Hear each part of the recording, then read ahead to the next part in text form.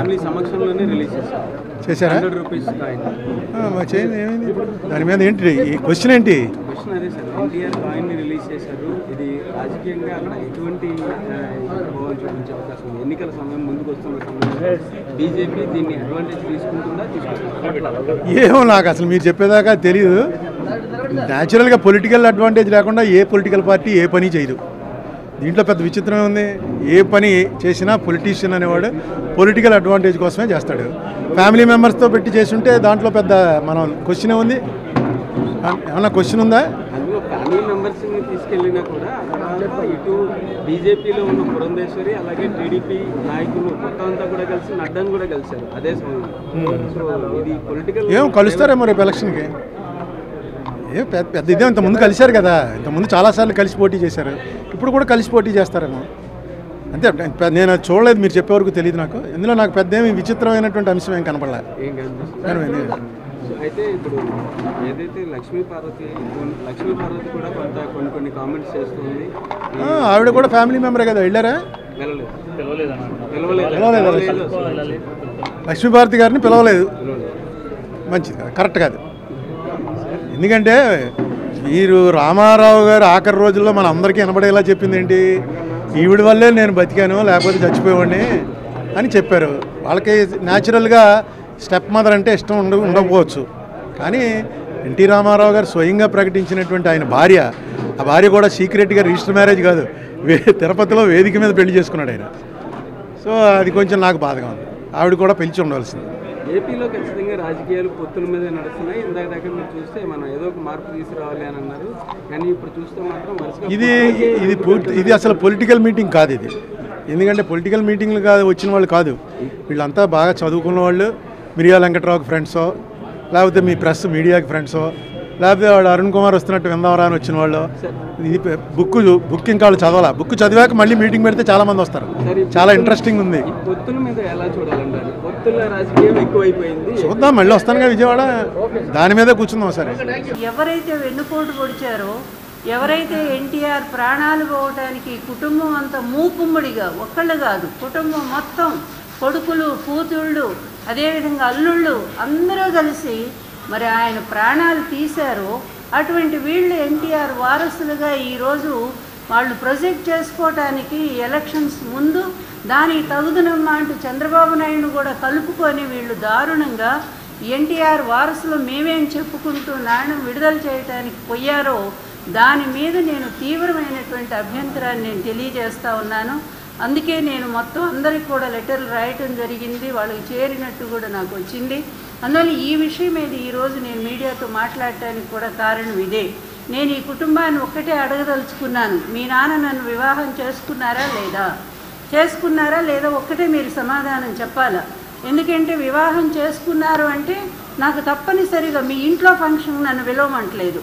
అక్కడ జరిగేటువంటి ఒక ప్రతిష్టాత్మకమైన కార్యక్రమానికి నాకు ఇన్విటేషన్లు రాకుండా దాన్ని రా- రానివ్వకుండా అడ్డుపడ్డటువంటి పురంధరీశ్వరి అలాగే ఈ కుటుంబ సభ్యుల సమాధానం చెప్పాల్సినటువంటి అవసరం ఉంది. మరి వివాహం చేసుకున్నప్పుడు ఆయన భార్యను ఒక తల్లి స్థానంలో ఉన్నదాన్ని కదా ఏ రోజైనా సరే మీరు నన్ను గౌరవించారా? గౌరవించలేదు. మొదటి నుంచి ఒక ఈర్ష్యా ద్వేషాలతో ఈ కుటుంబం నేను ఒక్కసారి మీ ముందు నా మనసు విప్పి చెప్పాలనుకుంటున్నాను. ఒక్కసారి దయచేసి ఇది చూడండి. ఎన్టీఆర్ గారు ఎక్కడి నుంచి చెప్తున్నాను? లక్ష్మీ పార్వతి లక్ష్మీ శివపార్వతి అని వాడు నన్ను. లక్ష్మీ శివపార్వతి అంగీకరిస్తే నేను వివాహం చేసుకుంటా. తిరుపతిలో అనౌన్స్మెంట్ ఇది. తిరుపతిలో అనౌన్స్మెంట్ చేశారు. అదేవిధంగా పదకొండవ తారీఖు తొంభై మూడు పదకొండు. ఇదిగో నేను నా సొంతంగా అది కదా ఇవన్నీ పత్రికలు ఇచ్చినాయి. లక్ష్మీ పార్వతితో ఎన్టీఆర్ వివాహం. అన్ని పత్రికలు కూడా లక్ష్మీ పార్వతితో ఎన్టీఆర్ వివాహం. ఇంకా మీకు చూపిస్తాను. ఇదిగో ఇంగ్లీష్ పేపర్స్ కూడా. NTR marry to Lakshmi Parvathi.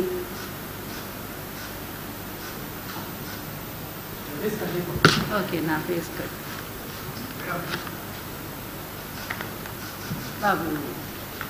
ఇంకా మీకు అసలు స్టేట్మెంట్స్ కూడా ఇదిగో మా ఇద్దరి వివాహం గురించి పత్రికలని ప్రకటించిన ఫోటోలు కూడా. అసలు పెళ్ళి ఫోటో చూపిస్తూ ఉండండి. ఎందుకంటే అతి దారుణంగా వీళ్ళు అవమానం ఎన్నాళ్ళని ఒక స్త్రీ అవమానాలు పడుతుందయ్యా? ఆ చెప్పండి మీరంతా కూడా. జీవితం అంతా కూడా నేను ఎన్టీఆర్ భార్య నేను బోర్డు ఒకటి మెళ్ళో కట్టుకొని తిరగాల? ఇదిగో మా పెళ్ళి ఫోటో.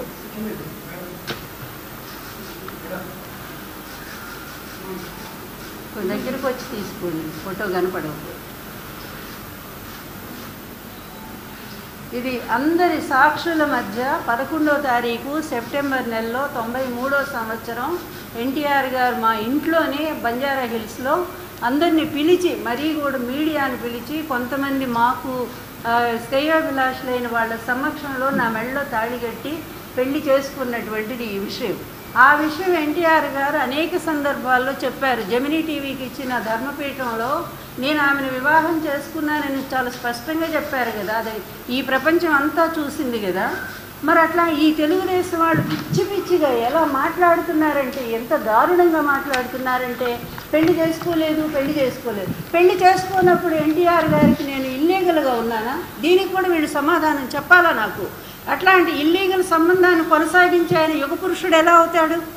ఒక స్త్రీని అన్యాయం చేసి తనతో ఈ విధంగా అక్రమంగా అన్యాయంగా ఉంచుకొని ఈ విధంగా మోసం చేసేవాడు యుగ పురుషుడు అవుతాడా? ఇది వీళ్ళు తప్పనిసరిగా ఈ కుటుంబం చెప్పాలా? సమాధానం తెలుగుదేశం వాళ్ళు కూడా చెప్పాలా? ఈరోజు నేను ఇంకెందుకంటే నేను బ- పూర్తిగా బయటకు వచ్చేసాను నేను. ఇన్నాళ్ళు కూడా గౌరవం మర్యాద మంచి సంస్కారం అనుకుంటూ ఈ కుటుంబాన్ని గౌరవిస్తూ వచ్చాను. ఇంతవరకు ఈ కుటుంబ సభ్యుల గురించి నేను ఎక్కువ మాట్లాడలేదు. ఈ రోజు మాట్లాడుతున్నాను. ఈ రోజు నుంచి ఈ కుటుంబం మీద నా ఫైటింగ్ ఎలా ఉంటుందో రేపు ఎలక్షన్లో నిజంగా చెప్తున్నాను నేను. వీళ్ళని ఈ రాష్ట్రం నుంచి చంద్రబాబు నాయుడిని ఈ పురంధరేశ్వరిని ఈ రాష్ట్రం నుంచే తరిమి కొట్టకపోతే ఎలక్షన్ల తర్వాత వాళ్ళ మొహం కూడా కనిపించినంతగా నేను జగన్మోహన్ రెడ్డి గారికి సహాయం చేయడానికి నిర్ణయించుకున్నాను. అదేవిధంగా ఎలక్షన్లో నేను పూర్తిగా కూడా ప్రతి నియోజకవర్గం పర్యటించి వీళ్ళ దుర్మార్గాలన్నీ కూడా బయట పెట్టడానికి ఎన్టీఆర్ గారు స్వయంగా ఏం మాట్లాడారో ఈ కుటుంబం తనకి ఏ విధంగా ద్రోహం చేసిందో ఈ విషయాలన్నీ స్వయంగా నేనే ఆయన క్యాసెట్లు ఉన్నాయి ఆడియో ఉన్నాయి వీడియో ఉన్నాయి. వీటన్నిటిని కూడా నేను ప్రజలకు చూపించి ఈ దుర్మార్గులు చేస్తున్న ఇప్పటికే చేస్తున్నారు. మరొక్కసారి ఎన్టీఆర్ గారి ఆత్మకు సంక్షోభం కలిగిస్తూ ఉన్నారు. ఆయన ఆత్మ క్షోభకు గురి చేస్తూ ఉన్నారు. వీళ్ళ వారసులు. వీళ్ళ ఎన్టీఆర్ గారి కడుపును పుట్టినంత మాత్రం చేత వారసత్వం వస్తుందా? స్వయంగా మీరు చూడండి. ఇదిగో చంద్రబాబు నాయుడు సమక్షంలో కూడా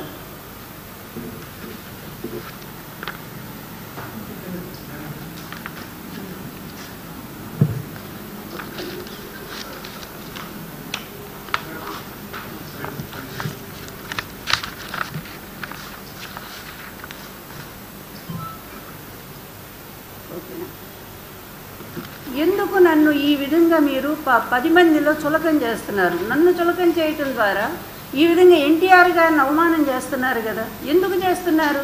మీ తండ్రి గారు మీకు రక్తమాంసాలు పంచి ఇచ్చారు. అదేవిధంగా ఆస్తులు ఇచ్చారు. మిమ్మల్ని నిలబెట్టారు. ఇంత నిలబెట్టిన తండ్రికి ఎంత గౌరవాన్ని మీరు ఇవ్వాల్సి ఉంటుంది? ఆ గౌరవాన్ని మర్చిపోయారు. ఆ రోజు తండ్రి ధర్మాన్ని మర్చిపోయారు. ఆయనకు వెన్నుపోటు పొడిచారు. మీ దుర్మార్గుడైనటువంటి మీ బావతో చేయగలిపి ఆ రోజు పురంధేశ్వరి ఆమె పాత్రను కూడా నేను చాలా స్పష్టంగా చెప్తున్నాను.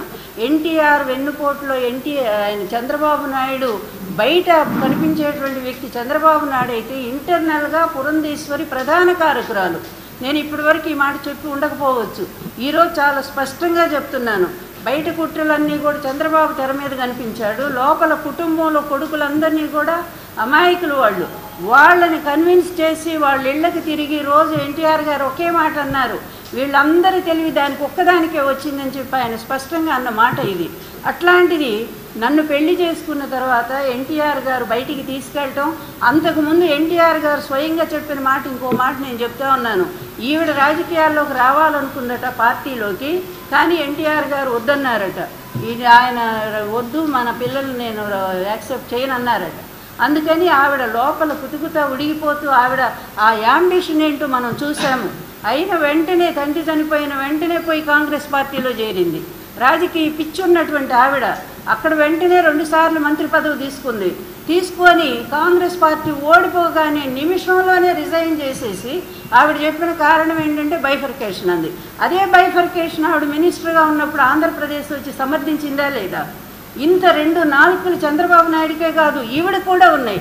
ఈ రోజు కూడా అదే జరుగుతోంది. ఆంధ్ర రాష్ట్రంలో మళ్ళా బాబా మరదలు ఇద్దరు కూడా ఏకమైపోయారు. జగన్మోహన్ రెడ్డికి వ్యతిరేకంగా ఇక్కడ ఒక భయంకరమైన కుట్రం చేయటానికి ప్రారంభించారు.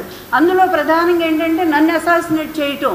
అందువల్ల ముందు అసలు ఈమె ఎన్టీఆర్ భార్య కాదు అని ప్రజల్లో అది తుడి చేయటానికి వీళ్ళు ఇన్నాళ్ళుగా సాగిస్తున్నటువంటి ఈ భయంకరమైనటువంటి కుట్ర ఒక మహిళగా ఉండి సాటి మహిళను నీ తండ్రి ఇష్టంతో అందరి ముందు వివాహం చేసుకున్న స్త్రీని ఇంత ఘోరంగా నువ్వు అవమానిస్తున్నావు నిజంగా చెప్తున్నాను ఏదో ఒక రోజు నువ్వు అంతకంటే అంత ఎక్కువ అవమానానికి ఈ సమాజంలో నువ్వు గురవుతావు పురంధేశ్వరి.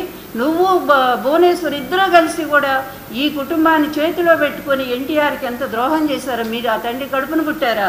తండ్రి ప్రాణం కోసం పుట్టారా? ఆ తండ్రి ప్రాణాలు హరించడానికి పుట్టినటువంటి మీరు ఈరోజు వారసులా? ఆయన నాణ్యాన్ని అందుకోవటానికి అర్హత మీకు ఉందా? ఎన్టీఆర్కి వచ్చేటువంటి భారతరత్న నాకు తెలిసిన సమాచారం ఏంటంటే కేంద్ర ప్రభుత్వం ఎన్టీఆర్కి భారతరత్న ఇవ్వాలని అనుకుంటే ఈవిడ అడ్డుపుల్ల వేసింది. అలా ఇస్తే కొంచెం కుటుంబంలో గొడవలు వస్తాయి. అందువల్ల మేము తెలివిగా దీన్ని ప్లాన్ చేస్తాము. ఈ నాణ్యాన్ని నేను ఇవాళ వాళ్ళు విడుదల చేశారు. ఎవరైనా డబ్బు కడితే ఆ నాణ్యాన్ని ఇస్తుందట ఆర్బీఐ. అది మింటు మింటు వాళ్ళు. దానికి కేంద్రం ఆమోదం ఉండాలి. ఆ విధంగా చేసి ఈరోజు ఆమె ఇన్విటేషన్లో కూడా చీఫ్ గెస్ట్ రాష్ట్రపతినే ఉంది. అందువల్ల నాకు ఇప్పటికి కూడా ఈ కన్ఫ్యూజన్లో ఉన్నాను. సరే ఆ కన్ఫ్యూజన్స్ ఎలా ఉన్నా కూడా ఈ కుటుంబం చేస్తున్నటువంటి ద్రోహం ముఖ్యంగా ఈ పురంధీశ్వరి ఎంత దుర్మార్గురాలో చెప్పడం కోసమే నేను ఈ ప్రెస్ మీట్ ఏర్పాటు చేశాను. ఒక ఒక స్త్రీ అయి ఉండి సాటి స్త్రీని నా వల్ల మీకు ఎప్పుడైనా ఏమైనా నష్టం కలిగించానా? కష్టం కలిగించానా? నేను మంచిదాన్ని కానా? నా క్యారెక్టర్ లేదా? మీ నాన్న అంత ఇష్టపడి చేసుకొని మీ అందరినీ రెండు సార్లు కూర్చోబెట్టి చెప్పారు కదా. ఆమె చాలా మంచిది మీరు కావాలంటే ఆమె సన్నిహితం కండి చూడండి ఆమె ఏంటో అని చెప్పి చెప్పారు కదా. కనీసం ఒక్కసారైనా మీరు ఆడవాళ్ళు ప్రయత్నం చేశారు? మగపిల్లలు వచ్చారు చక్కగా వచ్చారు. వాళ్ళ ఇళ్ళకి మమ్మల్ని పిలిచారు భోజనాలకి మేమందరం వెళ్ళాం మనవలు మనవరాళ్ళతో మేము హ్యాపీగా ఉన్నాం. మా గవర్నమెంట్ వచ్చాక. కానీ అది చూసి కళ్ళల్లో నిప్పులు పోసుకుంది. నిప్పులు పోసుకోవటమే కాకుండా ఈ భువనేశ్వరి కలిసింది ఈ ఇద్దరు పెద్ద విలన్లు ఈ కుటుంబంలో. వాళ్ళిద్దరూ కలిసి ఈ మగపిల్లల మనసుని కూడా చేసి ఆమె పెత్తనం చేస్తా ఉంది పార్టీ మీద. నేను పెత్తనం చేశానా? ఒక్క పదవన్న నేను తీసుకున్నానా? పోనీ ఒక్క రూపాయి నేను సంపాదించుకున్నానా? నువ్వు అవినీతి పరురాలివి.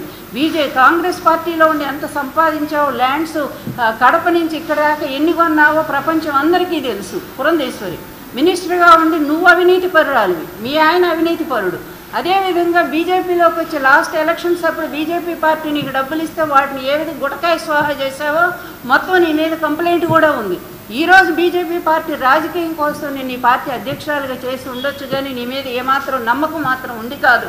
నేను ఇదే చెప్తున్నాను ఈ రోజు నుంచి పురంధేశ్వరి నీ మీదే నా ఫైటింగ్ మొదలవుతుంది. ఈ ఎలక్షన్స్లో కనీసం నువ్వు తిరిగిన చోట ఒక్క సీటు కూడా రాకుండా నేను ఎంత పో- పోరాటం చేస్తానో నా ఛాలెంజ్ ఇది నేను చెప్తా ఉన్నాను ఈ ఎన్నికల తర్వాత నువ్వు మీ బావ ఇద్దరు కట్టగట్టుకొని ఊరేగండి. నా భర్తకు అన్యాయం చేసిన దుర్మార్గులు మీ ఇద్దరు కూడా నా భర్తను చంపిన నీచులు మీరు అట్లాంటి మిమ్మల్ని దయచేసి ఈ రాష్ట్ర ప్రజలు కూడా అర్థం చేసుకోండి నా ఆవేదన అర్థం చేసుకోండి. జీవితం అంతా నా భర్త నా భర్త అంటూ నేను పెట్టుకొని పెట్టుకొని ఊరేగాల? మెళ్ళో కట్టుకోవాలా? నేను ట్యాగ్ ఏమైనా కట్టుకోవాలా? ఇది ఏమి దారుణం? ఎన్టీఆర్ గారు స్వయంగా పెళ్ళి చేసుకున్న భార్యను ప్రజల్లో తీసుకెళ్ళారు. ప్రజలందరూ యాక్సెప్ట్ చేశారు. రెండు వందల యాభై ఎనిమిది సీట్లు గెలిపించారు. అంతకుముందు వచ్చినాయి ఆ తెలుగుదేశానికి రెండు వందల సీట్లే వచ్చాయి.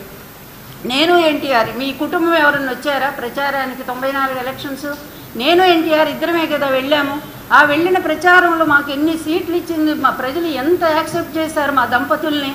అందరూ యాక్సెప్ట్ చేస్తే మీ కుటుంబానికి ఏం మాయరోగం వచ్చింది? మీకేం ద్రోహం చేశారు ఎన్టీఆర్ కానీ నేను కానీ ఈ విధంగా నన్ను ఇప్పుడు కూడా అవమానం చేస్తారా? నన్ను అవమానం చేస్తూ ఎన్టీఆర్ని అవమానపరుస్తున్నారా మీరు? అందుకనే మరొక్కసారి చెప్తున్నాను ఇట్లాంటి ప్రభుత్వ కార్యక్రమాలే అయితే మాత్రం నేను ప్రభుత్వంతో కూడా ఢీకొంటానికి సిద్ధంగా ఉన్నాను సెంట్రల్ గవర్నమెంట్తో కూడా.